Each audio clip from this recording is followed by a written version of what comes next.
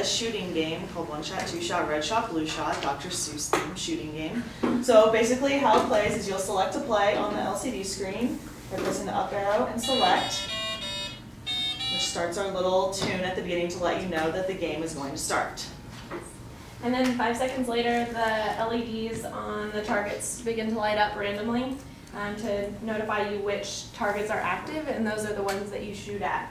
And you have about three seconds to um, shoot them and actually score points, as shown by hitting them. Um, and all the ones that are not lit up are not active, so you can't score on those ones. What we ended up deciding is having basically a solenoid. It's just a 10 amp coil shoots a plunger, which hits one of the targets into, or one of the targets in here. Um, we have a stepper on the front here, so we have this six round uh, revolver that basically rotates to the next position for each round. When you turn the game on, you probably didn't see it, but the barrel rotates until it hits this positioning switch over here, which lines up the first barrel in case you know you move it around or something the beginning.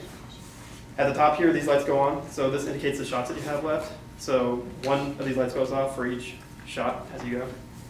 We have two different sensors, um, proximity sensor basically. We have an IR one on this, on the gun, and this is basically like a, within a foot range. If you try to aim it at a person, you won't be able to shoot. And this one here is for about six feet range. So basically, if you come within a certain range of the um, console, like too close, you can't cheat and shoot. It won't let you uh, shoot. So the barrel rotates around until it hits the Positioning. position switch right in the beginning.